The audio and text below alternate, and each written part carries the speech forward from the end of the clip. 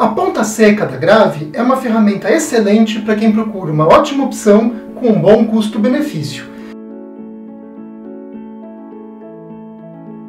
Ela tem a ponta muito afiada, tem um cabo de madeira leve, que é agradável de manusear, e lembra muito trabalhar com um lápis.